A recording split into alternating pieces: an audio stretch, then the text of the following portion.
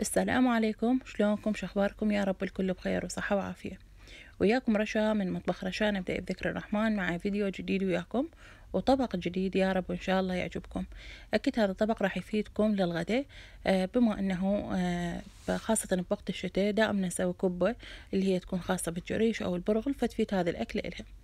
هنا قطعت باذنجان وبتيتة وبصل وطماطة وفلفل أخضر. راح أقلي اللي شغلات اللي تحتاج قلي اللي هي الباذنجان والبوتيتا آه، أما الطماطة والبصل وكل هاي الشغلات الباقية هذه بدون قلي. وعندي كبة اللي هي سويتها وياكم كبة الجريش اللي حضيف مالتها الرابط بصندوق الوصف وبأول تعليق وأثبته لكم. هذه آه، أطلعها من الفريز وأبدي أرتبهم بهالشكل. هذه هنا قليت البوتيتا والباذنجان وشوفوا راح أرتبهم بهالشكل تعين يكون ترتيبهم. وبنفس الوقت الكبة اللي تضيفونها وأكيد هذه الشغلات اللي أنا ضفتها كل شخص وحسب عدد أفراد عائلته.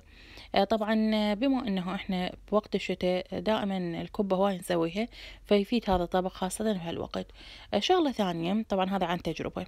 آه، مرات تنفتح عندنا كبة مثل نضيفها بالمجمدة أو الفريز. مثل أنا صار وياي هذا الموقف اللي هو. آه طبعا من سويت الكبة وكملتها بالصينية غطيتها بنايلون. آه النايلون يعني ما مبين يكون لونه أبيض أبيض يعني غامق مشفف. فما أعرف أخوي أو بابا ضايف قوطية بيبسي فوق الكبة فأكو آه اثنين مفتوحات. فهذا الطبق راح يفيد إنه حتى الكبة اللي تكون عندنا مفتوحة بدل ما نسويها بالسوب وتنفتح وتخرب حتى شكل السوب نقدر نستفاد منها بهذا الطبق.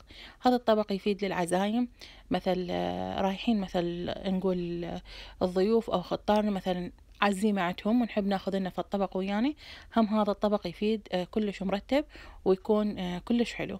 يعني نقول طبق يفتخر به. فهنا كملت كل الكمية اللي عندي رتبتها بهالشكل حبدي أسوي الصوص اللي حضيفه على على هذا التبسي الكوبة الجريش. هنا عندي كمية مي تقريبا آه، اثنين ونص كوب من المي أو ثلاثة.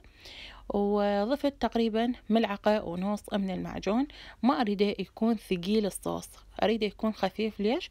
لأنه لا تنسون الكبة أني مفرزتها وجامدة يعني أريدها تنطبخ داخل هذا التبسي هنا ضفت شوية بابريكا وضفت شوية بهارات آه اللي هي الكاري وضفت شوية فلفل أسود. وأكيد ما أنسى الملح. وإذا تحبون تضيفون زيت كان بها ما تحبون تضيفون زيت تكتفون فقط بزيت اللي من الباذنجان ومن ال ومن البوتيتا هم هذا الشي راجع لكم. أنا هنا حضيف كلش قليل وأخفقها بشكل حلو وبعدين أضيفها على التبسي. أكيد أنا فاتحة الفرن تقريبا على درجة حرارة ميتين أو ميتين وعشرين هذا الشي راجع لكم.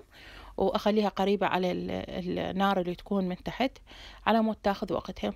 لحد ما آه، نشوفها إنه انطبخت بشكل كامل وصارت جاهزة عندنا.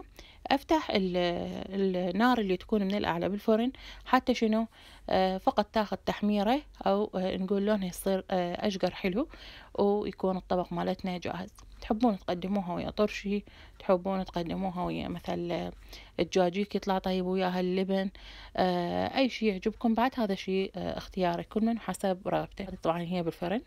وهنا بعد ما طلعت وراح أفتحها وياكم وتشوفون شلون جاهزة ومطبوخة بشكل تمام. أتمنى إن شاء الله اليوم عجبكم الفيديو. أتمنى ما تقصرون وياي باللايك واللي زايرني أول مرة لا تنسوني. اشتراك وتفعيل زر الجرس حتى توصلكم كل فيديوهاتي وبالأخير أحب أقولكم في أمان الله.